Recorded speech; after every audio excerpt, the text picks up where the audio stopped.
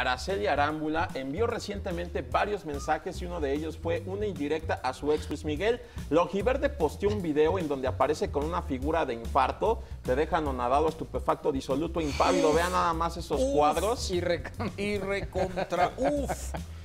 Y bueno, pues Mira de esta lo que te imagen. estás perdiendo, le dice, ¿no? Ajá, mira.